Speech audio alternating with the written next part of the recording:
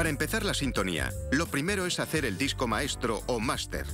Este disco está hecho de aluminio y será el núcleo del máster.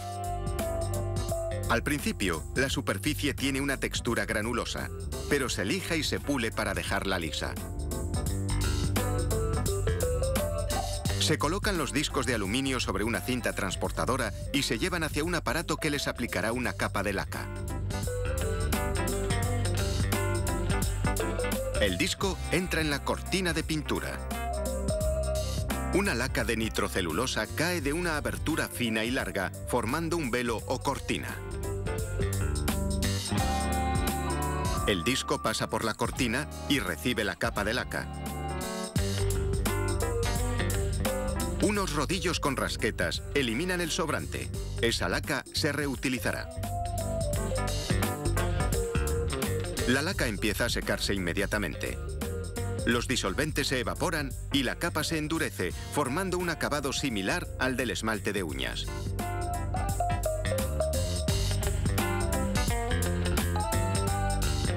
En esta zona de inspección, los operarios examinan todos los discos lacados en busca de golpes, polvo o agujeros. No se toleran ni la más mínima imperfección.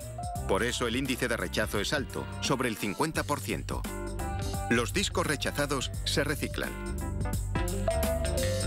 Los másters buenos se cantean con un borde de plástico. Eso impedirá que se rocen cuando se apilen y se dañe el acabado. A continuación, se coloca el disco sobre una perforadora hidráulica que hace un agujero en el centro. Después se coloca sobre un mandril. Un brazo robótico desliza un anillo de plástico por el mandril, depositándolo alrededor del agujero central del disco. Al igual que el borde de plástico, el anillo también sirve para separar los discos. Los másters ya están preparados para viajar al estudio.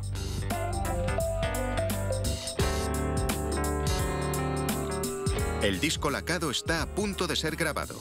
El ingeniero lo coloca en la máquina de grabación llamada torno. Retira la protección del borde. Y coloca un tubo de vacío en el centro que succiona la parte inferior del disco y lo sujeta. El ingeniero mueve la cortadora y un microscopio sobre el disco. Baja la cortadora sobre el borde exterior del disco y hace un corte de prueba. Coloca un microscopio justo sobre la ranura de prueba y la observa. Realiza ajustes en el corte y ya está listo para grabar. El torno corta el surco de entrada y comienza la música. La cortadora con punta de zafiro graba el sonido en el disco. De principio a fin, la grabación será un surco continuo.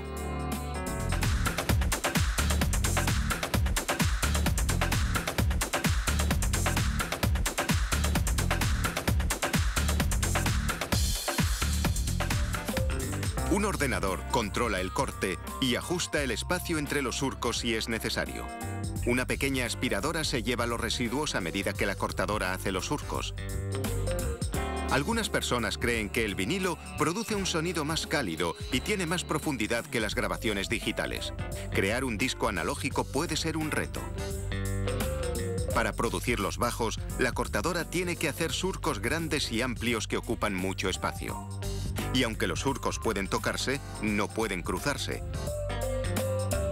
Al final de la grabación, la cortadora se levanta y el disco maestro ya está listo para la inspección. Si es aceptable, el ingeniero coloca una plataforma estabilizadora sobre él y graba un número de serie único sobre el lacado. Pronto, este disco maestro dejará huella.